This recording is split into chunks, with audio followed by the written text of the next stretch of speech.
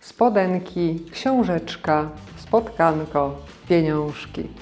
Jakże często posługujemy się zdrobnieniami, bo po prostu chcemy być mili, chcemy, żeby ta nasza codzienna komunikacja nie brzmiała aż tak poważnie. Ale czy przez to czasem trochę sobie nie szkodzimy? Zostańcie i posłuchajcie, dlaczego nie należy używać zdrobnień i jakie szkody może nam to wyrządzić.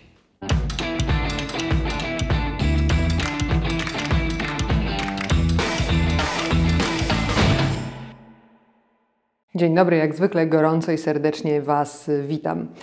Dziś o zdrobnieniach. Zdrobnienia, czyli te wszystkie formy, kiedy mówimy krzesełeczko, stołeczek, obiadek, rosołek, samochodzik.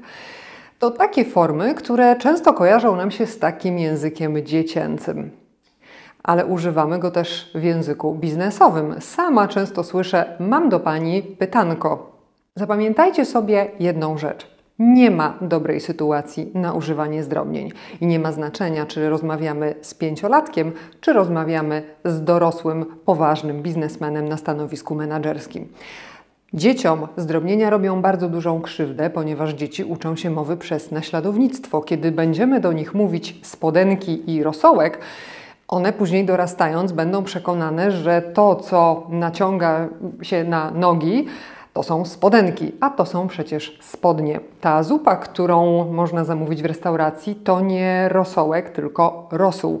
A wyobrażacie sobie kilkudziesięcioletnią kobietę czy kilkudziesięcioletniego mężczyznę, który mówi w restauracji poproszę rosołek? Sytuacja biznesowa, kiedy posługujemy się zdrobnieniami, to sytuacja, która może bardzo niekorzystnie wpłynąć na nasz wizerunek. Kiedy mówimy, że chcemy zarabiać pieniążki, to coś takiego znacznie mniejszego niż pieniądze, nieprawdaż? Kiedy z kolei mówimy zróbmy małe spotkanko, to wtedy nikt nie potraktuje tego poważnie, no bo przecież było spotkanko, a nie bardzo poważne spotkanie czy status.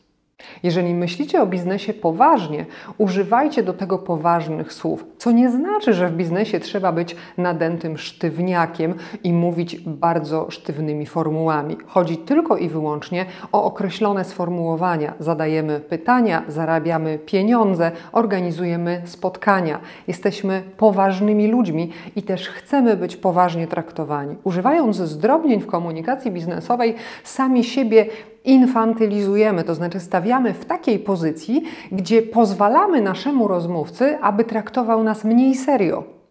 A więc na przykład mógł zwlekać z zapłaceniem faktury albo spóźnić się na spotkanie, bo przecież było to tylko takie spotkanko. Takie trywializowanie tematów jest bardzo mocno związane z używaniem zdrobnień. Postarajcie się wyeliminować zdrobnienia ze swojej mowy, a zobaczycie dużą zmianę. Zobaczycie, jak wpłynie to na Wasz wizerunek. Oczywiście życzę Wam tego, żeby wszystko działo się w biznesie, jak i w Waszym życiu prywatnym tak jak należy. Tymczasem zapraszam Was na kolejny odcinek. Pamiętajcie o subskrypcji kanału. Dziękuję.